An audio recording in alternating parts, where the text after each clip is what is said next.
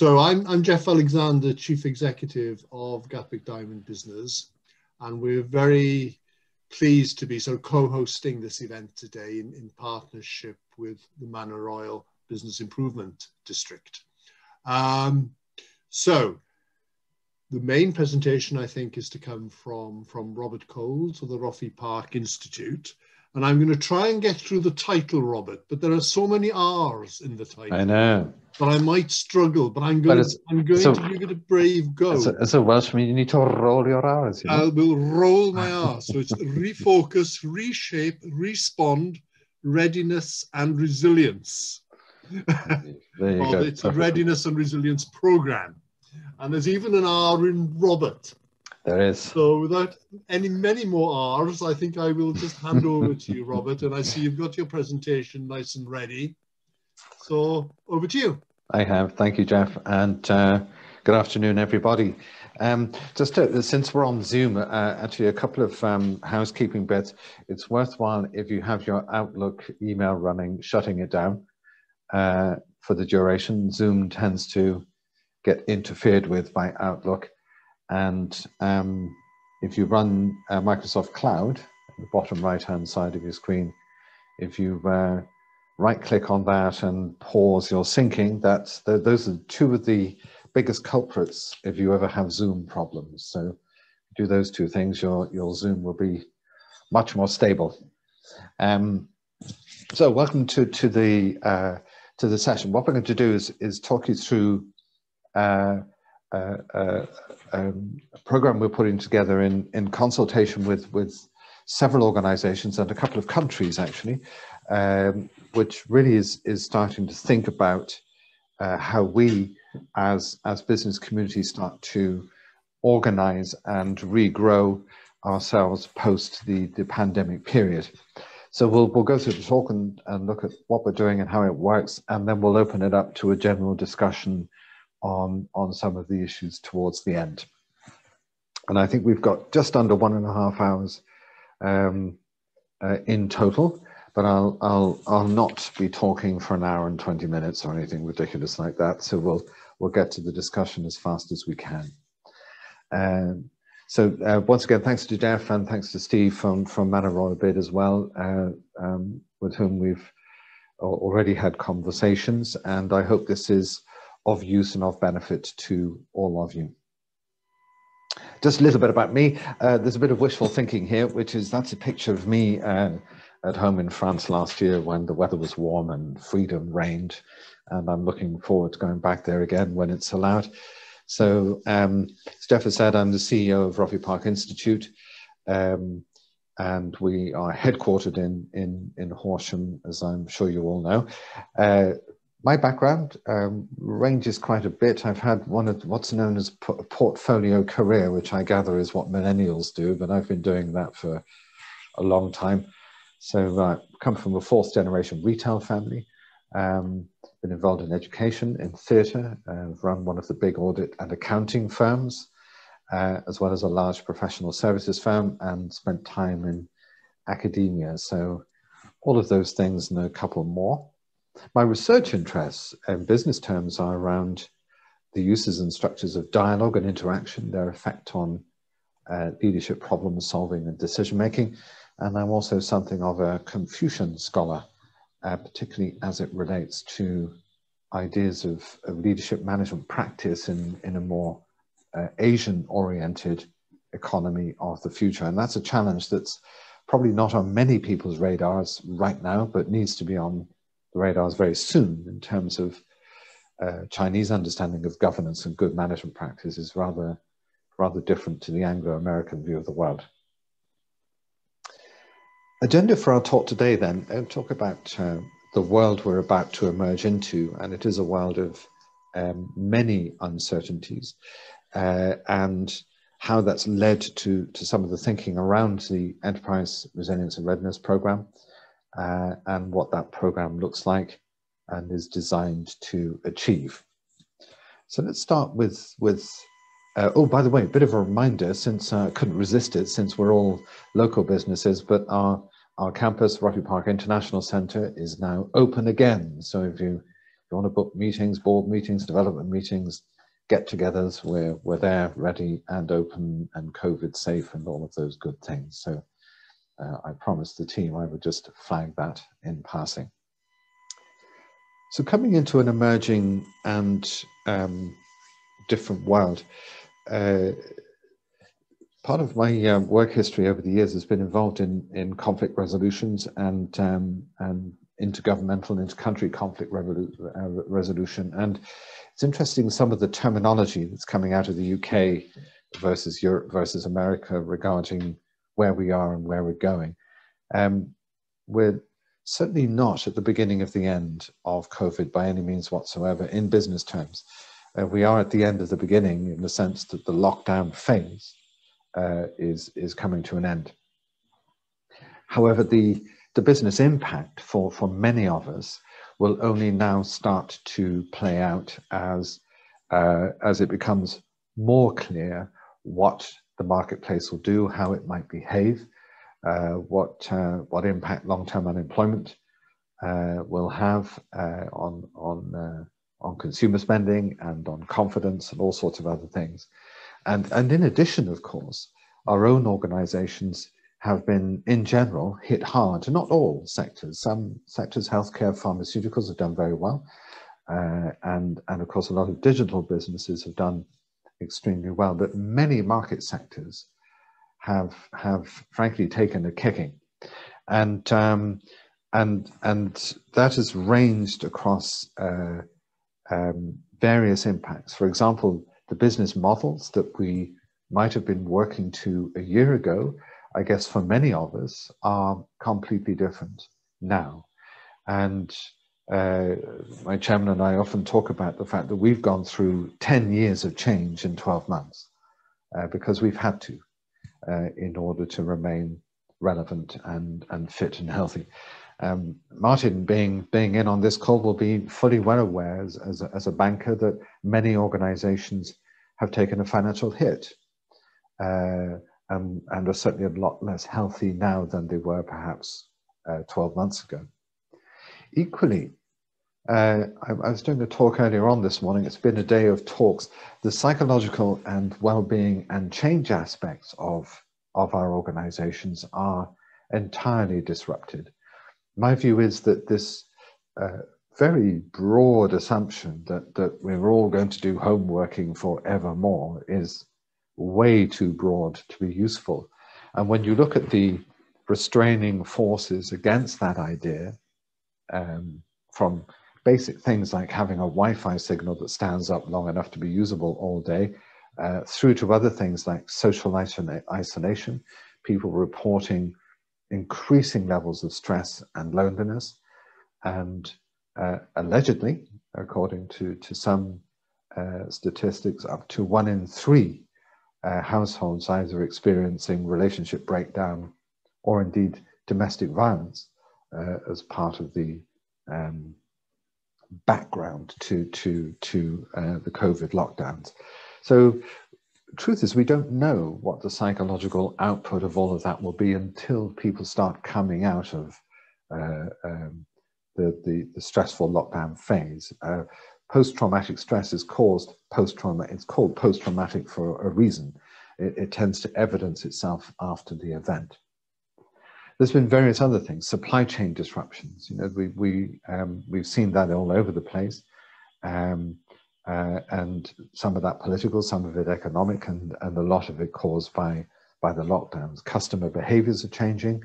Technology has certainly come front of house rather than being uh, a backup service.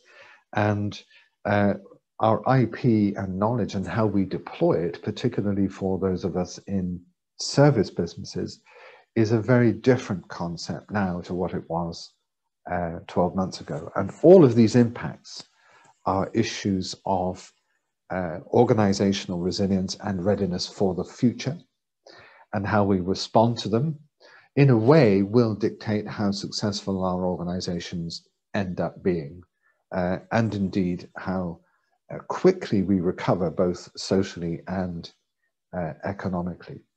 And it was into these discussions that we were we were pitched uh, uh, last year largely working with um, uh, some Singapore agencies and, uh, and some education ministers from the ASEAN countries in Southeast Asia, where they've identified another interesting issue, which again I suspect applies to many of us, and that's that our domestic market, as we open back up again, is likely to be smaller than it was a year ago. And if we are going to succeed and retain employment and indeed grow employment, we are going to have to look for other markets and other opportunities for uh, retaining income as well as growing income. So there's an international dimension to this, how ready, particularly our, our mid-sized organizations, to think about the fact that their, their market of a year ago is no longer their market potentially to the same extent, and therefore they have to be ready and able to go looking for market elsewhere. I'll give you a simple example of that, that the, in the last 12 months, we have worked virtually because, of course, as an education institute, uh, as, a, as an exec education institute, um, we, we have a tradition of being very classroom based. We have our campus for a reason.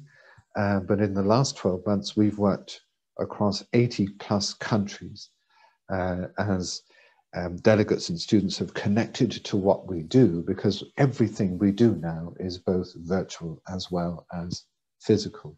That's a change that will stay, but it has implications for how we organize.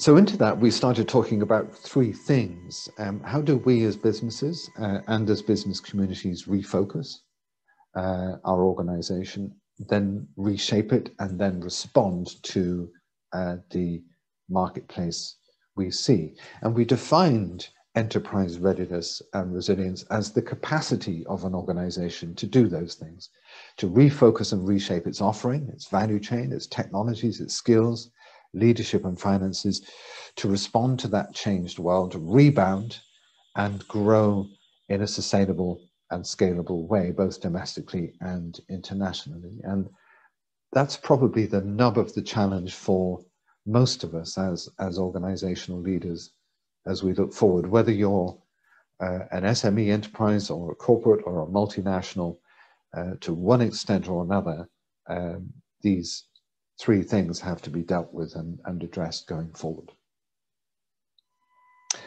So from that was born the Enterprise Readiness and Resilience Program as a concept, and, uh, and it essentially has five core objectives. Uh, the first is to enable organizations like us to rethink and recreate their capacity in, in seven enterprise resilience factors. Number one, what's your business model look like? Um, we do, we have a long-standing reputation in organizational design and organizational development, as many of you will know. And uh, the amount of inquiry we're getting from organizing, organizations saying that we need to rethink our structure, our model, our operating models, because the world we're coming into is not the world we, we left behind uh, a year ago. Uh, finance, uh, many organizations uh, have, have burnt an awful lot of cash, have taken on an awful lot of debt.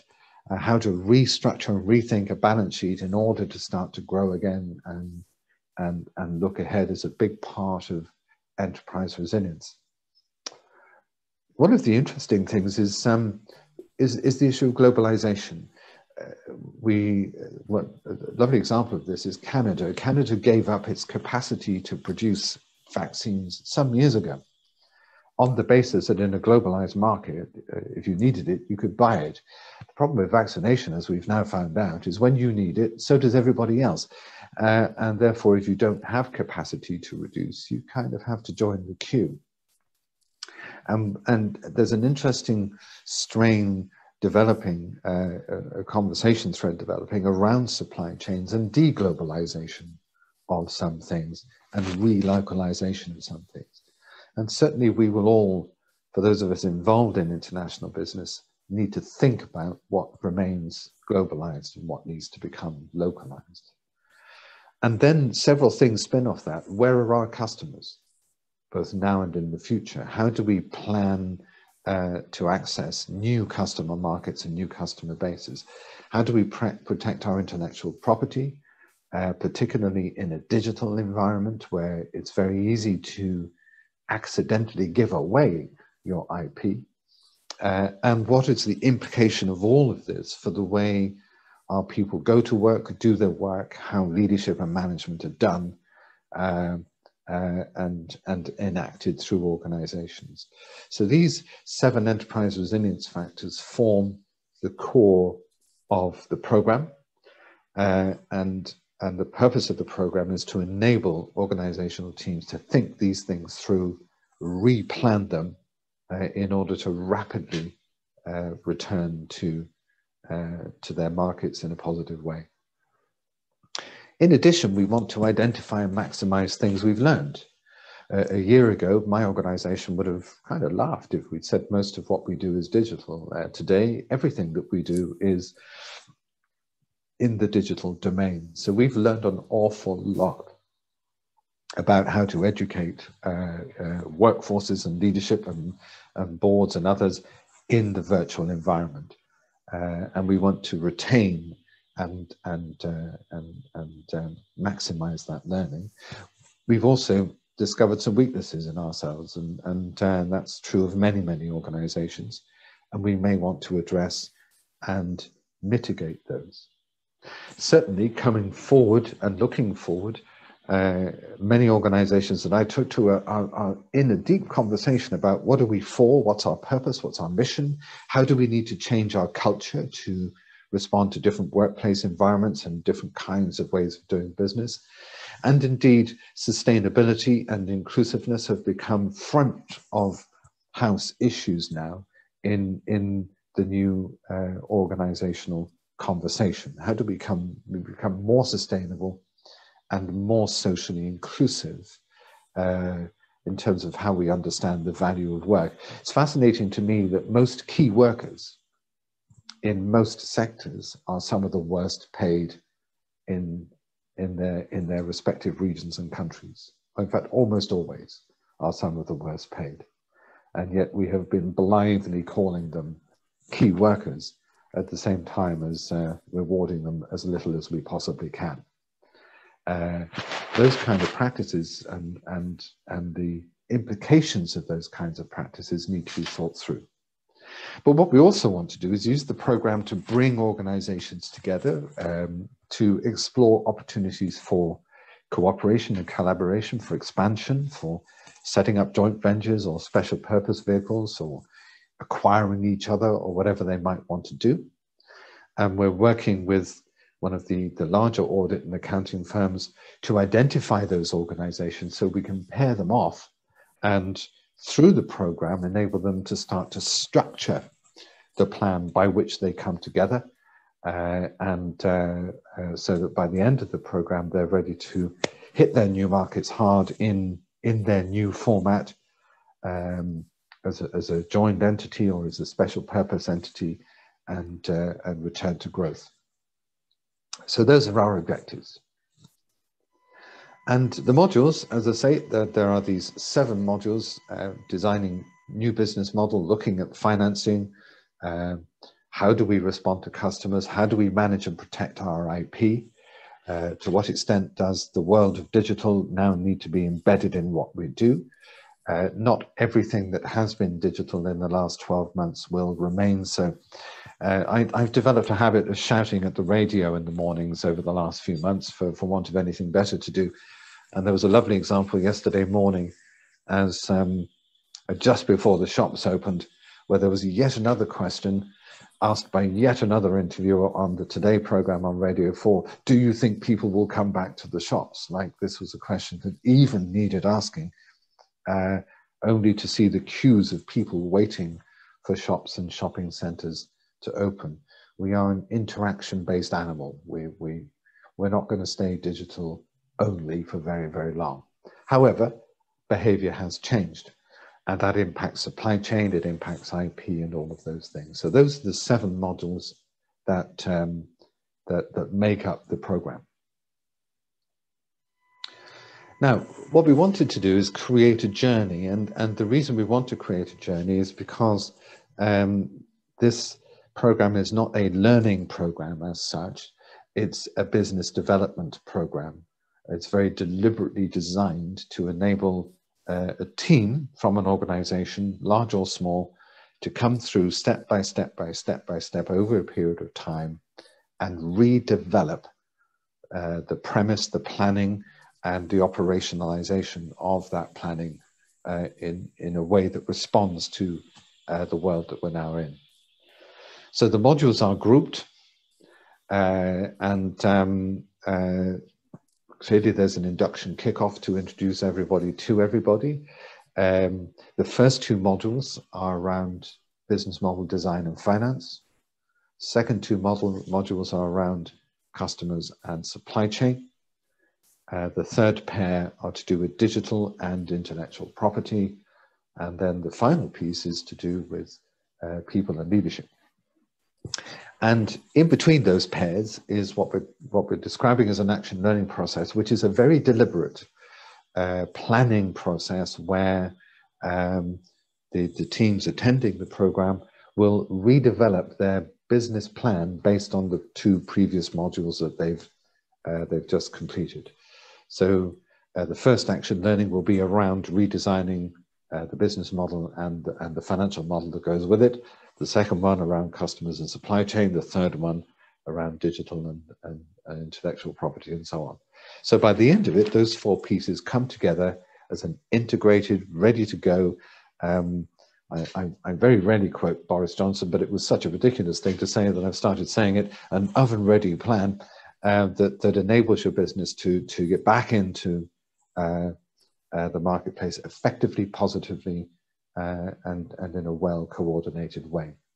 So the journey is designed uh, to be developmental for the organization in the sense that it helps redevelop the plan that the organization has. Now, because we, we were involved with, with um, and we are involved in discussions with, with um, both government bodies and, and business bodies, there was, uh, particularly in Asia, a desire for some of this to, to have um, uh, an accreditation aspect to it as well. So we are actually offering a professional diploma at the end of this in, in, uh, in organizational practice. So um, now, that's not a compulsory bit, it's an additional bit if people want it. And um, in order to achieve that, at the end of each action learning process, there is a program impact assessment of the plan that's been developed uh, in order to ensure that it meets or is likely to meet uh, the standards that have been set. And that assessment is, is with um, external facilitators from us or from, from our partners. And at the end of the process, there's uh, the option of a business pitch to a group of senior business leaders from various different sectors, uh, and indeed um, to a business pitch uh, um, from um, finance uh, companies and private equity and growth investment bodies who may or may not want to invest in the plan that has subsequently been produced from this program the action learning process and and the and the impact assessment that goes with it has really three elements to it. It's first is to inquire what are our critical goals as regards these two modules that has just been done. Um, what do we currently know? What are other people doing that's potentially best practice? And then to move that knowledge into the second phase of saying how usable is some of this new ideas and best practice for us, uh, and how can we uh, create sustainable uh, uh, uh, responses to those to those ideas, and then from that to develop a plan. What are we going to change? How will we monitor progress? And how will we how will we improve on that change aspect as we go along? Um, so each of those workplace action learning phases produces a part of the overall end resulting plan. Now, uh, we're in the digital world, so we've also looked at how do we go about doing this, either either physically or virtually or both. And we want to do it either way or both ways, depending on the structure of the groups involved. So each of the modules in a classroom version lasts for two days, um, or in the virtual version is between six and eight two-hour sessions scattered over a two to four week period. And we found over the last 12 months that, that um, when people do digital, they want to do it in chunky bits over a period of time rather than very condensed. It's, it's really quite draining to try and do a day of developmental work online uh, uh, like this. So, so the, the, the two days get scattered over a two to four week period in, in the virtual version. There's linking work between each, each pair of modules, and the modules can be taken as an entire program or can be taken independently of each other. So, for example, if, if your issue is, well, we need to know, under, know and understand what our options are around new target operating models for our business, and you just want that, then you can buy into the business model uh, module. Uh, if your issue is to do with um, finance or digital strategies, then you can just buy into those things. So you can either go through the whole process or parts of the process as as you need. Um, and um, uh, and as I say, they, they, can either be in two-day um, classroom formats based in, in, our centre in Horsham, uh, or indeed elsewhere, and uh, uh or uh, six to eight hour, six to eight two-hour modules over two to four week uh, period. So very flexible. Um, what are we trying to solve? We've talked about the, the, business environment changing, the financial position of businesses have changed, supply chains have been disrupted, staff and managers and leaders have been subject to real extremes of pressure and stress. Uh, one of our partners is, is was telling us this week that the or last week rather, that the the single most in-demand program they're running is, is, is a program called Mental Health for Managers, which um, as, as, a title even is, is quite interesting, but but reflects just that that pent-up stress and anxiety that a lot of people are are feeling. What we want the learning outcomes to be at an organizational level uh, is to learn how to understand how to design and deploy an operating model, how to manage liquidity, balance sheets, and banking relationships better, how to how to rework supply chains uh, and and digital approaches to business, and indeed how to access clients using um, those new methodologies. Um, particularly to look at, at the cultural aspects of how teams and management and leadership work, encouraging dialogue, encouraging emotional support, particularly for dispersed teams. Uh, the most common thing that people are reporting as an outcome of working at home is the sense of emotional disconnect. Uh, so we spend a lot of time talking at each other online. We don't necessarily connect with each other uh, in the ways that we can only do face to face. But, but also delegates will learn broader methods of analysis, of reflection, of strategic and critical thinking, of scenario planning, strategizing to better enable uh, you and your organization to think itself through uh, as, as it starts to emerge uh, from, uh, from the, the, the, lockdown period. And this, as far as we know, and certainly from our, our partners uh, around Europe and in Asia have, have, have said the same, is the only program that's seeking to integrate all these business aspects into one replanning and re-emergence uh, uh, process. So how does the program work? Now, again, we wanted to do some fairly innovative things um, around how we engage organizations. So firstly, um, we do want to know that, that organizations coming into this, this process are committed to growth, whether that's in their domestic or their international markets, are prepared to work with another organization through the program as a, as a pairing if they see an opportunity for collaboration through and after that program, or indeed if they want to um, learn from different organizations in completely different sectors how they view the same problems. And one of the strengths of the way we want to induct this process is we will we will have no more than six organizations going through it at any one time as a cohort. Um, so the cohorts will be quite tight. Um, each one of those teams, uh, each one of those organizations will need to send three to six people to represent their organization, but each one of those organizations will be from very different sectors and segments. And the idea is that we start to learn from each other how we uh, how differently sometimes we respond to precisely the same issues. So how does a manufacturing business uh, look to digital versus a service and technologies business?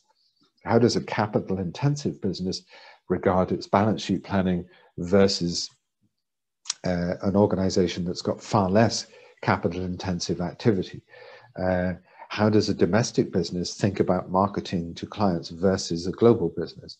So by, by putting different kinds of business in the room, we, we want to expose organizations not to the same thinking, but to different thinking about the same things in order that we can take ideas that otherwise we would never come across uh, and integrate them in, into the, uh, the learning and the planning process. Um, so we want firms to, to, to come as a team because your team will then develop the plan uh, with and for your organization. And we're allowing the program to run um, in a very condensed format or in a very spread out format. Now, there are two reasons for this. The feedback we've certainly had in, in Singapore is that the large corporates want to do this fast. They want to go through it in 12 weeks flat, come out with a plan, and then off they go and, and implement. Now, part of that is also that they get government funding to go through the program quickly. Um, uh, and um, so it's in their interest to do so. But on the other hand, smaller firms uh, for whom that might be a bit of a, uh, an effort want to go through, through things much more uh, in a much more measured way because the, the resource they're likely to put in the room is the same resource as is likely to be running some critical business functions. Um, so they, they may want to do the program in a, in a slower cycle than than larger firms with with uh, with a greater resource, and so we will be running an SME track aimed at uh, smaller to mid-sized firms and a corporate track uh, to accommodate that different speed. But our preference clearly is to blend those two types of organizations together so that they learn from each other and uh, and we're looking at ways in which we can do that uh, if if we've got two different cohorts running parallel to each other. But it's highly flexible. Is is the is the nub of it, uh, and it can run as fast or as slowly um, as as as a cohort wants it to run, provided that cohort is broadly speaking in the same mind in terms of uh, the time they want it to take. Now, the lollipops is is is a really interesting idea. Now, this, uh, um, as an academic friend of mine says, if you're going to plagiarize, plagiarize with pride. Uh, this is um, an idea that comes from Canada, uh, from the Henry Mintzberg Institute, uh, and um, and and it builds on this idea of organizations coming to these programs as teams, in order that they can work on a team uh, as a team on their organizational level issues, but also then connect as a team with their organization between modules. But where we want to add people is uh, add a dimension is um, is uh, if if we can encourage teams to come as a oh, pair. Um, so that, for example, Team 1A has uh, uh, an interaction with Team 1B where where they may be from the same sector or they're from different sectors or same sector in different countries or, or different size of business or they have complementary service provision and they want to learn from each other. And then they swap team members over. Same with teams 2A and 2B and teams 3A and 3B. Um, so, so that there's an exchange of knowledge, an exchange of experience, an exchange of practice uh, that, that those teams can build on uh, rather than just relying on the limits of their own knowledge. And, and we regard this as a really adventurous way to expose ideas uh, and different ways of doing things, but also to allow organizations to size each other up through the program as a potential partner or, or JV or merger target post program um, uh, that, um, that they may want to, to get into a discussion about. So this program becomes developmental to each of the organizations involved, but also sets up the potential for further integration and further cooperation later. Um, we will use, as I say, a maximum of three pairs of organizations per cohort. So it really is contained, it's very focused, uh, and that means a maximum of, of 36 people in the room at any one time, uh, physically or virtually, um, but working in their groups and building their business uh, planning as they, as they go along. Now, the Pulse journey is the way that we go about our learning and, uh, and the way we go about our development with organizations. And it works both, uh, both at individual and team and, and organizational level. And it essentially involves us working with groups to say, where are you going? What is the plot? What's the map that you want to achieve? Uh, how do we unlock the inhibiting factors that are getting in your way? How do we leverage things um, so that you can get the required help and input and thinking that you need? How do you turn that into something that can be signified and shared and then embed that back into, into your organization? So the planning process, the action learning process that runs behind the core modules allows this process to, to occur. Where are we going? What's in the way? How do we leverage our advantages? How do we turn that into signifying plans and then get on with it? Uh, so it's very practice oriented, it's very business oriented, and the fundamental object of this is, is to get your organization back into growth and back into efficient operation rather faster than it might otherwise, otherwise do. Now, time commitment uh, is, is clearly important. Um, so if you look at the modules, uh, it, it, they, one way or another, whether physical or virtual, they combine all together to take 15 days uh, over a 12 to 52 week period, depending on whether we're doing a, a rapid cycle or a longer cycle program. The action learning bits in between the paired modules, so the four um, planning, plan building parts of the program, uh, we reckon should take about three days over a two to three week period back in your own organization with that development team coming back and saying, right, this is the stuff we need to think about. This is the stuff we need to to design. And then at the end of that two to three week uh, gap period, there's a two hour per team uh, impact assessment, which is essentially a pitch to a bunch of senior people to say, uh, tell us what your plan is, tell us how it works, and to give you some critique uh, as to how effective that plan is or where the gaps are or some other things you might want to think about. So that's the core program. Um, so all in all, uh, it's about a 21 day process over a 12 to uh, uh, 12 to 52 week period, depending on uh, whether you, you're on quick cycle or long cycle versions of the program. Other things we're building around it, uh, executive coaching, but also team mentoring and subject matter specialism. So for example, if there's particular issues around um, supply chain or, or digitization, we'll bring a subject matter into your group uh, to help you with that. We're working at the moment on access to financing and advisory around financing and, and growth funding in particular, uh, because for many organizations, the critical factor isn't really the plan as such, it's how on earth to finance the plan at the moment. And, and the good news is, as my old corporate finance people are telling me, there's rather more growth financing around than there is demand for it at the moment. So this is a good time to be uh, to be to be working on that kind of thing, but also access to business networking. Uh, so we're part of, of larger business networks uh, that we can engage uh, the, the delegate organizations with uh, in order to uh, potentially enable access to market or, or, access to partners in, in different places, in different segments, in different countries as per needed. So there's a series of elective options that can go around the core program.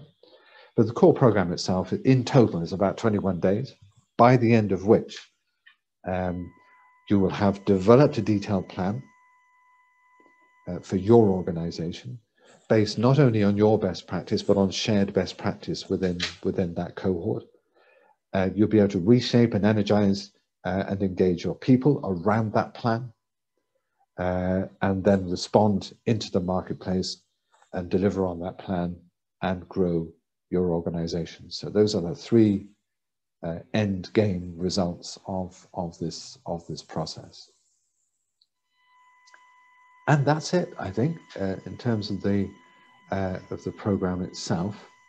Um, so I'm going to stop sharing that okay. and open it up and uh, see if there's any questions or commentary. Thanks, Robert. I'll just, just butt in first. That was very interesting and very, very clear as, as ever. I think with the current audience you, you have today, you have a mixture of people. I think you have you have people whose businesses could be directly interested in the program, and others who will be more interested from the perspective of um, how it could apply to, to their clients or you know the businesses that they mm. deal with they may themselves be sort of too too too small. From, but you can correct me if I've got that wrong. Perhaps that's something we can come on to in terms of the size of the business and how you'd engage with businesses of different sizes. I feel that the discussion falls into two parts, although I don't intend being at all rigid about it. Um, there's there's the sort of the very interesting background issues that you raised, you know, the build up, if you like, to the program, and there's the program itself. And I just wanted to um, abuse my position, sort of as chair, to raise a question on the on the former. So that is the interesting background issues. Mm. And the one that struck me is, you know, I'm absolutely with you when you say that, you know, the death of the office, the death of the high street, death of the shop, you know, that's premature to say the very least. But I think you also recognise that you know, some change will be more permanent, more lasting. Yeah. And I wondered if you could expand a little bit on that, on the areas where you think, as a consequence of COVID, we've we've seen permanent change, or that wouldn't have happened otherwise, or at least has been accelerated, which I think is more likely to be hmm. the case. So if we kick off then there and then open it up to questions and comments. Very good, thanks, Jeff. I, I, it's an interesting question because the the um, a lot of the commentary uh, that we're all hearing at the moment um, really is describing how we've we were there and we're now there, uh, and somehow we're going to stay there forever. And and uh, there's there, there, are any number of reasons why that's not uh, going to be the case. Um, and I think they fall into two camps. There's the micro reasons, which are about essential human connectivity uh, it's it's not lost on any of us, I suspect, as you watch the news and and uh, and see the pictures on screen, how quickly people have got back out in into the great white world, having been given half a permission to do so. You know, so uh, we are we are interaction based animals, the lot of us, uh, to a greater or lesser extent. But even if you're the deepest deepest introvert, or even if you think you are, um, the the you still interact with people. Um, pretty much. So, so there's the micro issues of, of human behavior that will bring some things back. But there's also the, the, the rather broader macro issues uh, as to why the world can't remain digital. And that's that so much asset and so much money is tied up in the infrastructure of cities and, and urban living. Uh, that there's uh, short of writing off trillions of dollars of assets at a, at a national level and starting again, uh, you've got to do something with those with those uh, with those national assets. Um, and and for those reasons alone, you'll find that that um, the, the the economic consequences of this world where we all live in Zoom boxes are so disastrous that there has to be a correction back to to a, a blended approach. And of course, some segments have no choice. If you're in healthcare, you can't really do nursing by Zoom. Uh, if you're in hospitality, you really can't do that by Zoom either. There are some things where you have no choice. If you're in manufacturing, ditto.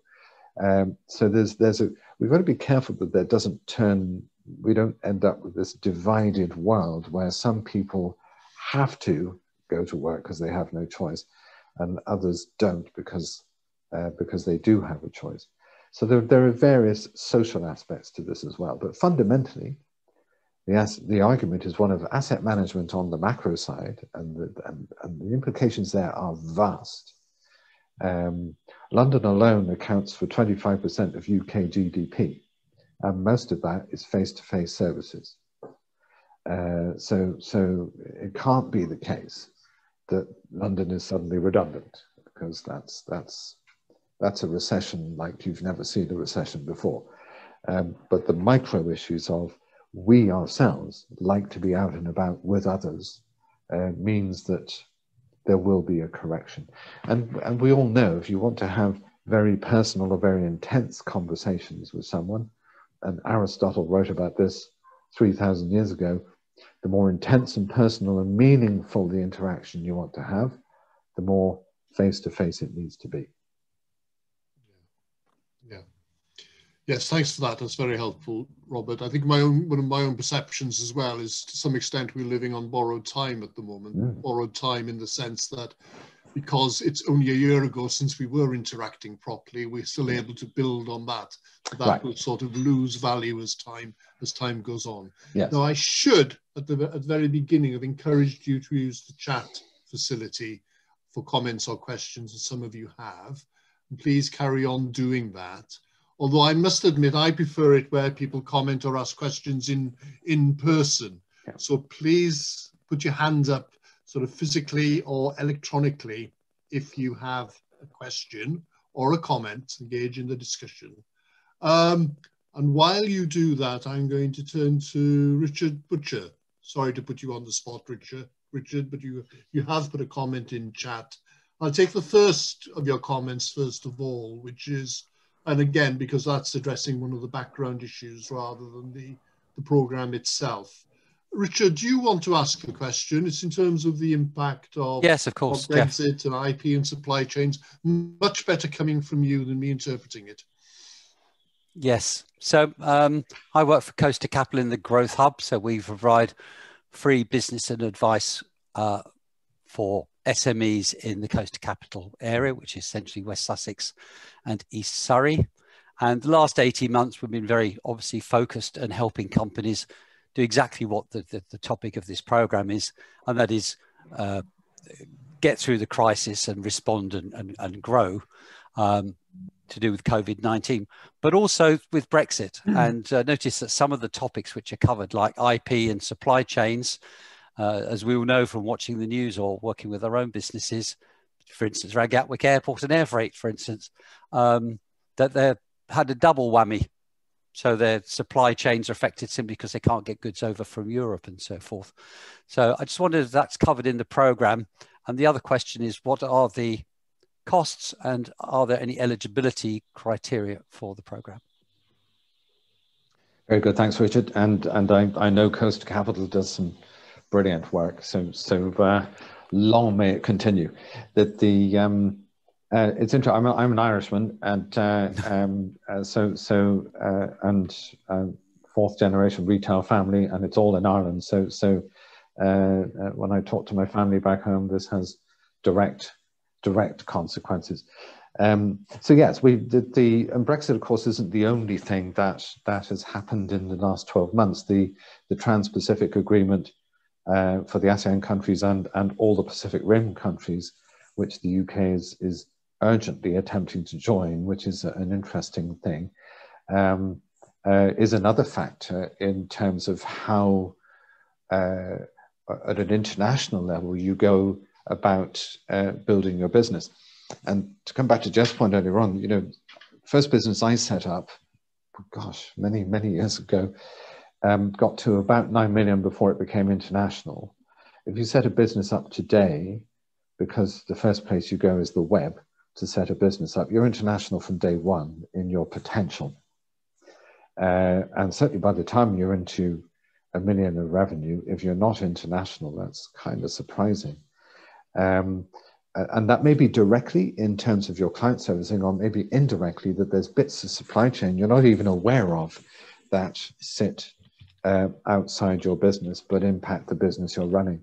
so we're, we're all very much more interconnected. So one of the um, partners to this program is the Singapore Business Federation, for example. And we are talking to the UK equivalents over here. And I'm also a council member of the British Irish Chamber of Commerce. So, so the Brexit thing I can, I can wax lyrical on because we do have policy documents on that, but uh, I'll resist. Um, but the, uh, the, the, the, um, the, the free trade experts are, are coming into their own at the moment in, in the sense of if you're a business looking to expand uh, in, into ASEAN, which is the fourth largest economic bloc in the world by, by GDP, uh, and a target for the British government uh, in terms of its public policy uh, towards, towards international trade and so-called global Britain. So it's a re relevant uh, uh, area of interest, but you need to know your free trade um, rules, for example, in, in Singapore, Malaysia, Vietnam, wherever you might want to go. Um, and indeed, these days, even into Europe, where a year ago wouldn't have been on your radar, right now you have to be thinking very carefully about rules of origin and all sorts of other things as as the good people of the north of Ireland are, are discovering to their cost. So yes, that's most definitely in there. Um, the the cost that again we're, we're we're still finalizing um, the SME version versus the corporate version because um, we do want to uh, have a small business element to this for the very reason that small businesses tend to internationalize. And so what we're looking at doing is, is potentially a shorter, sharper version of this. Um, and uh, uh, and and so we we we are still we're still talking around that with some of our partners. For for corporates and medium-sized businesses, we're looking at, at a cost to put bring a team through the 21-day process uh, of between 25 and 30 thousand pounds uh, per team. Uh, and um, and in common with the conversation I've had with Steve and Manor Royal Bid, where where the offer we're making to both Manor Royal and GDB firms uh, is is we're going to put a, a, a 50% discounted pilot program together for the UK um, uh, with the intention of launching that at the beginning of May. So if, if the two organizations can find six members between them that want to work through that process as a pilot, then, then we'll happily do that. We're going to do a similar pilot in, in Singapore as well the, the intention, uh, once the pilots are done, um, and this is where you, you have to not um, uh, entrap your own marketplace effectively, is, is to have a global cohort of, of European entities and Asian entities that um, right from the outset are saying to each other, well, I want to work in your market, you want to work in my market, so let's, let's go through this program and this process together in order that we can build a joint uh, um, uh, proposition plan through the program. And there's already a list of 50 companies sitting waiting in Singapore and the ASEAN countries for some European counterparts. So if your business is interested in expanding in that area, then we already have a list of firms that want to go through this program as part of a build up to an alliance, a joint venture or a market entry agreement or whatever. So, so, but we're, we're, we're happy to, to offer that as a, as a, as a starting place for uh, Manor Royal and, um, uh, and Gatwick Diamond uh, organizations. And that reflects the fact that we see ourselves as part of the community of both. Thanks, Robert. And we will, of course, be promoting that, that, that, that, that offer to our members, and I'm sure Steve Sawyer will be yeah. as well. So you'll be hearing hearing more from us. We've got a very interesting question from Olivia, which is about business growth in the light of you know sustainability. Mm. Before I come to that, though, Olivia is going to pose that question to you directly herself. Um, I just want to pick up a bit more on this markets issue. Mm. You made a very interesting comment, actually. You, you talked about the domestic market shrinking. Yeah. Um, Jeremy, I, am going to invite you to comment at this point because I'm obviously aware of all the work you're doing in seeking to connect businesses on the international trade front. So the point you were making, Robert, is that um, businesses need to look for new markets. They can't rely on, on, on old markets. And I just wondered, Jeremy, whether whether you had any reflections from all the discussions you've had. You know, are businesses embracing that, or are businesses just trying to get back to exactly where they were before, which you know, which may not be an option. Um, thanks, thanks, Jeff, and hello, Robert. Nice to see you all again. Hi, and the soup was delicious. I hope I didn't slip. um, I think the, the, one of the interesting things about the COVID uh, past year under COVID is that the world has actually got a little bit smaller thanks to Zoom, and it's easier for us to engage um, across continents and so on and so forth. And in fact, one of the biggest limiters now um, is not the time to travel; it's the time of day. Um, so if you want to join in with something on the west coast of America, you've got to wait till the evening for us. Uh, if you want to wait for, if you want to join in with something in the in the ASEAN region, then um, it's usually their afternoon and our morning. So the time of day is quite interesting. But what I've found is that businesses at the moment have a mix of um, desperate survival um, and hunger for content, contact, and continuity. Uh, and what we found, and it's very interesting because being very specific, I did an event last year with the Philippines, got another one coming up with Bulgaria in a couple of weeks' time. And those markets are really keen still to engage with the UK. Um, there's still a hunger out there for international trade, uh, despite any issues that we see as a result of Brexit, there's still this willingness to talk. Um, and we are in a very good position. We are still seen as a good economy. We are still seen as a strong place to do business with. And there's also, I mean, very specifically in Robert's area of education, UK, British, whatever, uh, education is highly regarded overseas um, and it's seen in, in all continents. So I think the short answer is that there is a willingness. Um, the the one issue is uh, really what sort of time of day or night you want to be up talking to people on Zoom, um, and whether you've got tea or something a bit better in your glass as you're talking to them as well. That's the other issue, I think. Um, but the and the another part of it which I found is that uh, English is also still predominantly the common language of business. Um, and much as that leads us to a certain arrogance, you could say, I think it's also a great opportunity.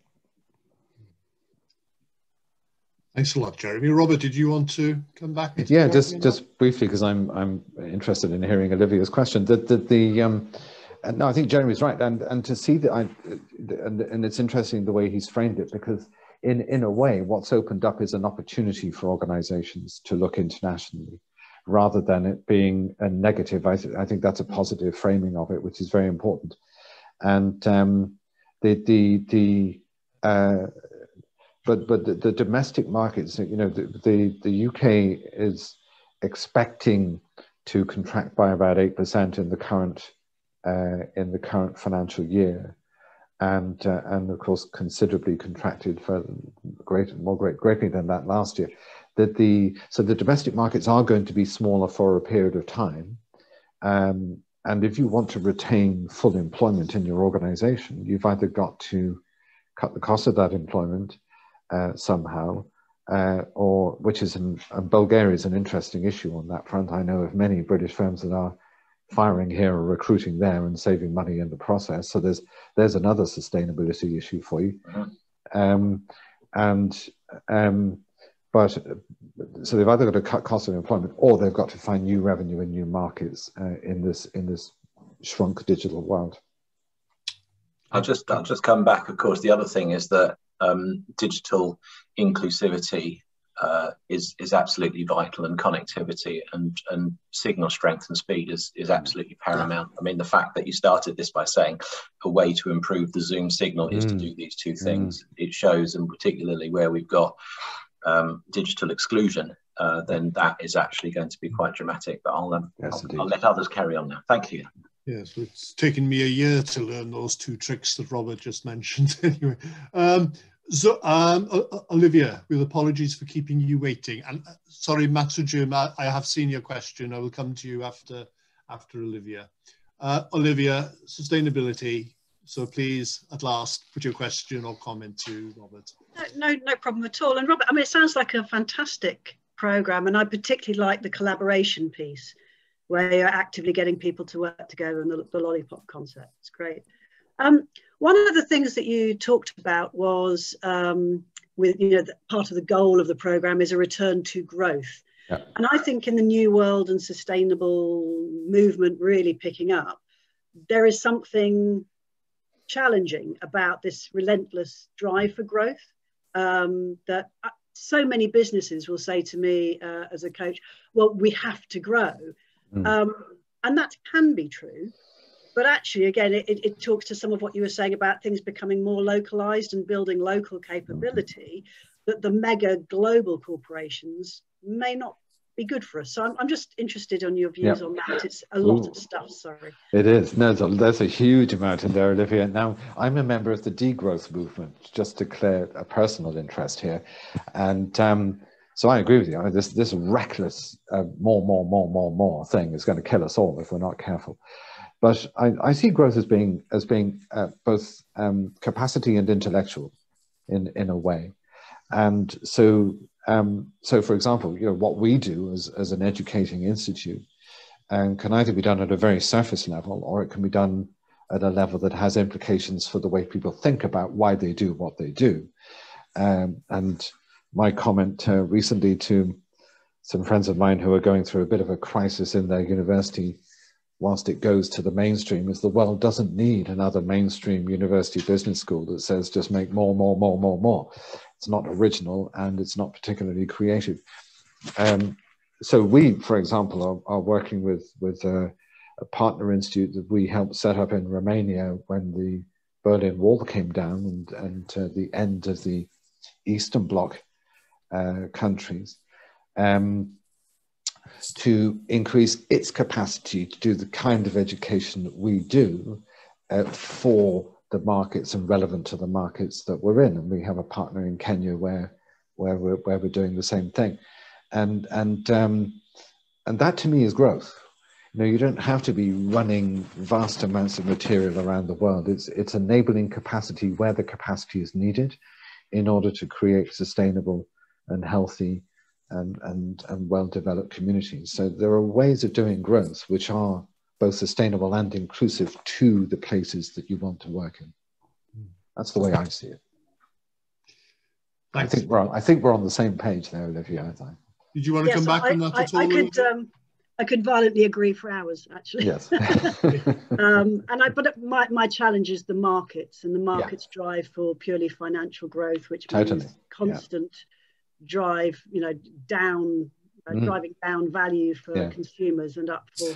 Oh, absolutely. I mean, that that that you know that that's not let's not be uh, anything other than aware of, of the risks to so-called um, globalization of, of, of, workforces. You know that the there is already a migration from high cost to low cost countries due to this process of digitization.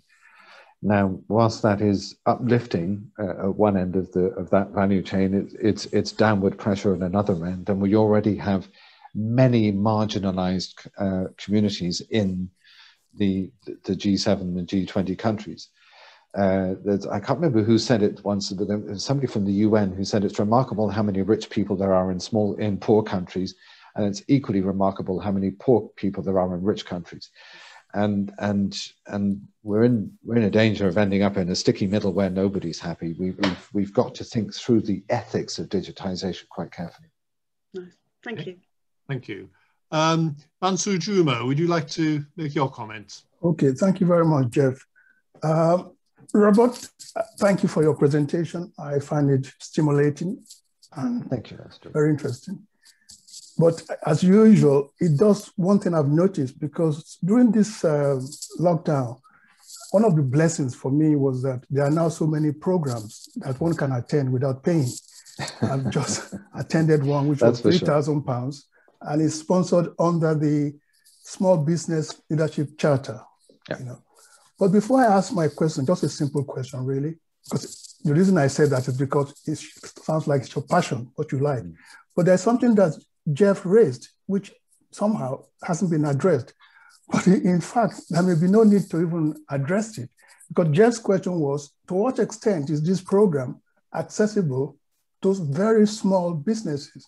I mean, of course, the immediate answer is, it's not really because you're asking for at least six for each organization. Yeah. Um, and one of the problems we know is that even in the last year, despite the COVID-19, over 30,000 small businesses have folded up. So I have said this before, and I'm saying it again everywhere I go. We really need to rethink and see how can we help small businesses to attend a program like this. Because in the last course I went to, what we, just, what we come to conclude about was that all these are very good, but a very small business person is actually hasn't got the luxury of what the kind of organization you are talking about has. He or she has to be the chief executive, the chief information officer, the chief digital officer, the chief operating officer. Oh, he has to be one person doing that. Uh, yeah. But all I'm saying is I have no answer yet. I'm thinking about it. But we need to consider to what extent can we allow very, very small organizations to be part of this. Yeah. Thank you. I think it's a it's a powerful question, Mansur Juma, and thank you for for raising it. It it I mean, there's a difficulty. It's there is no easy answer to this. Um, the the problem with with micro businesses in particular is is and they are one person businesses quite often. Taking time out to do something like this is there's no money, you know. You, you, so it's very difficult. So you've got to take the thing to them rather than them to the thing, uh, insofar as you can. Now, we as an education charity do do have this firmly in mind that that what what our charitable charter says that we have to work for the well-being of people at work. That's that's that's the charitable goal, and we are, colleagues of mine on this call, passionately committed to making that happen. Uh, but we also have to survive in the world as it is. Of course. And um, and like any any um, management school with a with a campus, we've we've got relatively high costs. So so so my answer to you is is is probably aspirational, but it's aspirational with a purpose in the sense that we we want to be able to we we put a certain amount of our time into pro bono work, and we want to use the funding coming from um, medium and larger size organizations in this program to run pro bono versions for micro program, micro organizations, where instead of on each lollipop table, instead of one firm, there's maybe six firms. Mm. Uh, and and then you have six times six firms in one room, all talking things through. Mm. Um, there's a cacophony of ideas likely to come out of that kind of process, but but what what a process that could be. Um, we need to think about issues of, of contracting it because time is an issue. Time literally is money and survivability at times. Uh, and we need to find ways of putting that into localities rather than saying, you know, we're over here, you've got to come to us. So there are logistical elements to that. Um, but but yes, we are committed to, and it's part of our charitable objects that we do a certain amount of work pro bono and and that's the only way, as an independent charity and a relatively small one, that we can access that community and help it.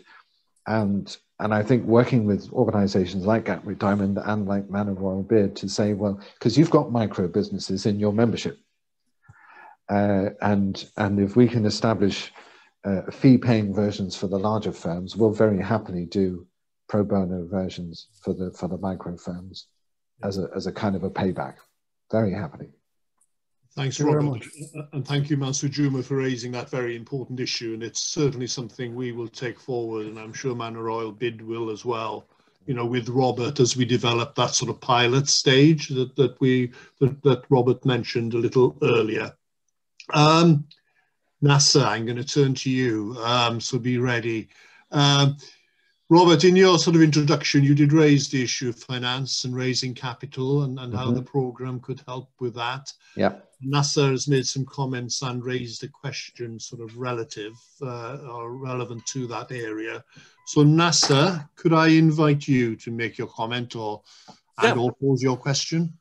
Yeah, I mean, it's quite a simple one, really, Robert. I mean, yeah. Uh, I've, I've, I've, raised uh, quite a, um, a series of tier one innovative visa scheme funding, uh, and they've been pretty successful.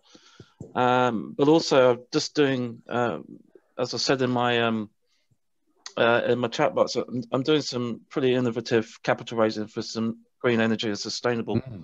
Mm. companies, and start. Some of them are startups, uh, and some of them have created NewCos. um, um, supported by the topco. Yeah, uh, I seem to be the, the, interest I'm getting in terms of the investment of, is from abroad. Yes, and there seems to be quite a, a firm, in some cases, a, a, really bizarre firm no from the angel and VC network that I have access to here in the UK. Uh, and, and I wonder if that's going to be a challenge because it does seem to me that the the VCs and angel network that I've, I've reached out to have been really, really selective, whereas the the investors from abroad that I've brought in to the UK they seem very, very open to understanding the the sustainability challenges, the energy projects that I put in front of them, as well as the the longer term gains. Um, right. It's a shame Olivia's just gone because it's not immediate growth. It, right. They've seen it beyond. They've seen it beyond the fiscal mm. growth aspect. They've seen it as you know, a, a change of climate uh, opportunity. That's what they've right. seen it. So right. it, it is a pity that she's just left no, at the time that I've, I've just. Uh, yeah, she has apologised. yeah. No, it is a shame that she's just gone. Actually, Nasser. I mean, uh, just on a broader point, Nasser, you know, we would we would welcome your participation as as somebody as an expert in terms of of funding as well. But to give you some of my background in it, so I spent several years with, um, running the European end of one of the so-called Next Four um, accounting and audit firms, and um, and I've also been a member of the European Business Council for quite some time. But the um, the the uh, one of the things that we set up was a was a process called Elite, which is uh, based out of Borsa Italia, um, and started off actually as very much like this program as as having a series of development modules around business planning, and then a, a pitch to investors at the end of it. So so we have quite a bit of access to um, uh, alternative funding uh, agencies, whether they're government, non-government, central, so Central European Development Bank and various others, as well as private, private equity and growth investment, which are two very different things these days. But uh, you, are noticing something that's been happening for a while, I think, which is that um, certainly growth investment is becoming heavily verticalized. It's very specialized around particular things.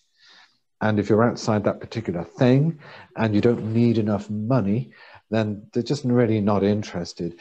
And, and getting seed investment into interesting things tends to come from abroad these days. The, the, the, the, the UK liquidity market is massive, but the UK has a really poor history with seed investment of early stage firms, a really poor history.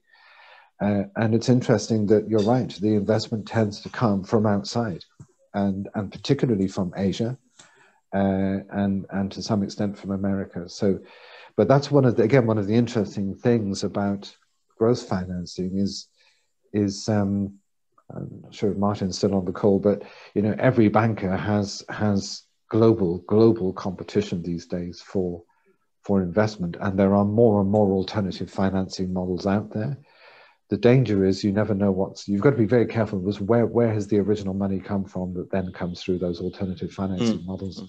because sometimes it's not transparent and neither is it particularly healthy so as you know you've got to you've got to do your due diligence on those things quite carefully um, but one of the issues to go back to Mansur Juma's point is is if if you're a micro business in this country trying to grow you've just got about everything possible stacked up against you uh, in terms of your capacity as a, as a G7 economy, your capacity to access growth investment is frankly abysmal by comparison. Okay. Well, thank you, Robert, and, and thanks, Nasser. Um, we are losing a few people as lunch beckons and other meetings, um, and I haven't got any further questions coming up on chat. So I'll just check whether any anyone has a question. If you could stick your hand up or wave in the air. Yes, Mansur Juma. Sorry, you're on mute. You're on mute, Mansur Juma. You need to unmute. Yes? That's it. Okay, that's okay. fine. This must be your favorite topic because you started by saying about different cultures, particularly the Asian cultures. Mm. And throughout your presentation, you brought in Asian and everything. So what I really want to know is what specifically are they doing differently that we may need to learn? That's a really interesting question, Master Joe.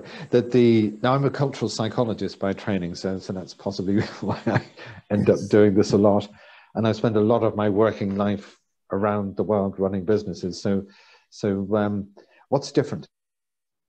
Um, if you go to my home country, which I, I, haven't lived in for many, many, many decades, but um, the Irish government has a strategic workforce plan. Beautiful. The document is great. It's lovely.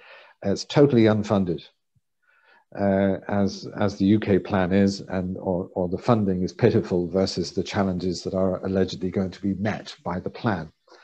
Um, look at what the Singaporean government is doing, and um, uh, the the and and indeed most particularly the Chinese government is doing, and they have 5, 10, 15 year directly funded investment plans um, on workforce transformation, and the the, the change in Asia, in a way, is what the Germans have been quietly doing very successfully since the Second World War, which is managed capitalism, um, where the government is a strategic and consistent player in the development of talent and capacity and, and technology infrastructure and various other things. Um, in, in ways where in the Anglo American model, it just isn't. It pops in, pops out, it follows trends, it messes around from left to right and up and down.